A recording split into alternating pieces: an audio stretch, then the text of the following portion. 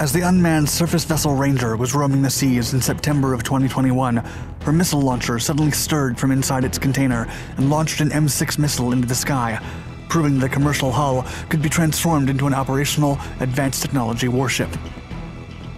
The development was part of the Ghost Fleet Overlord program, a joint effort between the U.S. Navy and the Secretary of Defense Strategic Capabilities Office that had been experimenting with unmanned ships controlled entirely from the ground for years.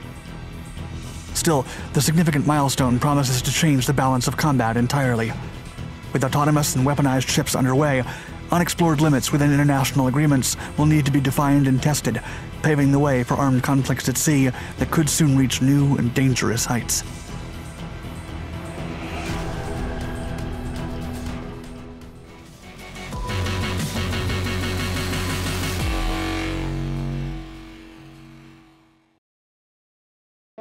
Milestones.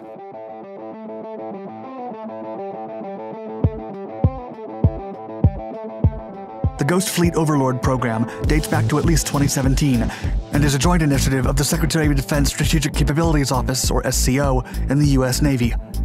In 2021, the program finally succeeded in not only conducting a long range autonomous transit with an unmanned surface vessel, or USV, but actually launching a missile from the Ghost ship. The first vessel, named Ranger, completed the first remote controlled transit in October of 2020 when it was manually operated through the Panama Canal. Then, a few months later, her sister Nomad traveled 4,421 nautical miles in a similar fashion, 98% autonomously. Nomad's Transit, the second experiment conducted by the SCO, provided key insights into vessel endurance and autonomous operations. It also delved into the interoperability of government command, control, communications, computers and intelligence systems with vendor autonomy, hull mechanical, and hull electrical systems. Luis Molina, deputy director of SCO, said of the program, quote, The command and control systems were able to provide a mission plan, which consists of a scheme of maneuver, and the system calculates the course and speed to complete those missions. The system reacts to the contact that it encounters along the way and replans and reprioritizes how to achieve those objectives. Mission Command was remote, operated by the U.S. Navy from an unmanned operations center on shore. Both Nomad and Ranger would continue performing fleet experimentation exercises after this significant milestone to mature autonomous systems and demonstrate system reliability. Furthermore, it was vital to explore employment concepts in relation to coordinated operations with manned combatants, taking into account the command and control systems. SCO Director Jay Dryer said at the time, quote, this is another significant milestone for SCO's Ghost Fleet Overlord program and supports the Navy's unmanned campaign framework by adding a second Overlord vessel to the West Coast. The SCO Ghost Fleet Overlord program serves to inform Navy prototype efforts by integrating mature technologies to accelerate service priorities and is a key piece of the build a little, test a little, and learn a lot philosophy articulated in the Navy Unmanned Campaign Framework. System integration.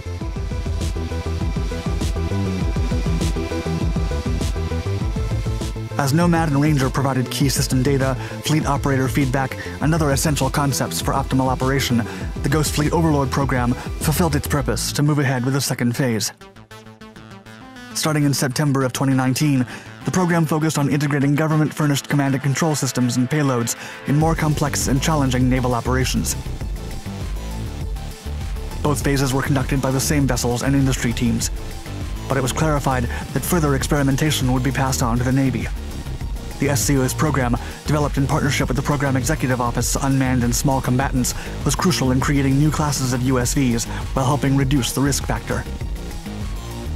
Medium-sized demonstrators Sea Hunter and Sea Hawk paved the way for their larger counterparts. As proven by the successful trials, both Ghost Fleet ships became a testbed to demonstrate how effectively large autonomous ships could operate at sea, getting closer to entirely unmanned operations.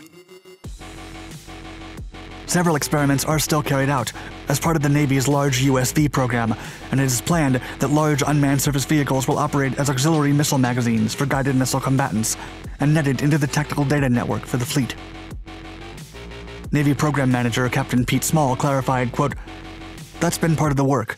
Adapting Navy program of record navigation systems aboard to complement existing commercial systems that operate with the autonomy and the government furnished navigation systems are key to security, but also to the operations of potential payloads and other systems that could be integrated into the prototypes in the future. If the ships are to operate as weapon platforms, there are significant efficiency and security implications yet to be tested.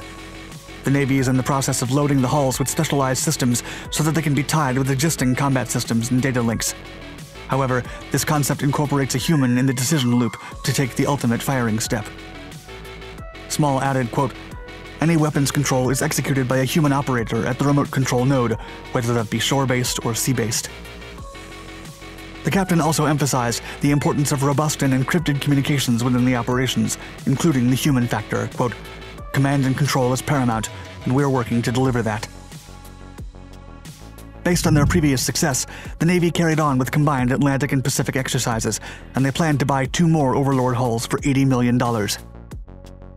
While not much more was disclosed, the partner companies involved will probably be Gibbs & Cox and L3 ASV Global, which participated in the conversion of Nomad and Ranger in 2018. However, the program took a decisive step a few months later. True autonomy.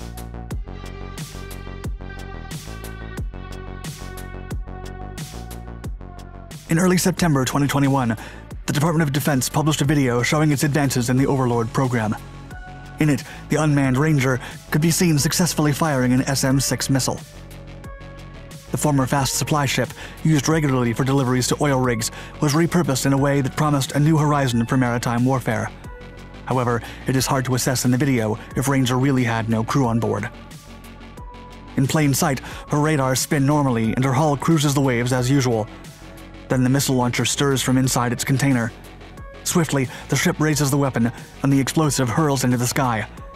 The observer will then notice that there is not a single soul behind the windows on the bridge. Not unlike sailors, the Navy's new robot ships will abide by the Law of the Seas Convention of the UN's set of rules for peaceful maritime travel. While sailors must know and understand these rules, robots must be coded to operate within the international frame. Notably, firing missiles is not within the scope of peaceful oceanic transit. Nevertheless, it is crucial that human remote operators revise the command links and confirm that they are secure, timely, and accurate. The ship first had to prove that she could launch a missile, but it is even more important that the robot actually hits the target. The focus will now be on human intervention in terms of approving and declining the robot's selections and mitigating error. Like C. Todd Lopez of DoD News wrote, quote, Autonomy includes more than just straight line passage through large areas of the ocean. It also involves such things as collision avoidance and following the rules of the sea. The integration of sensors and missile launchers, plus the communications with off ship human overseers, will be the next objective of the Overlord program, which will finish its second phase in early 2022 and be overtaken by the Navy, including the upcoming original prototypes. Thank you for watching my video. If you enjoyed it, please hit the like button and let us know your thoughts in the comments below. And don't forget to subscribe to all of our Dark Documentaries channels and hit the bell icon to get notified of our newest content.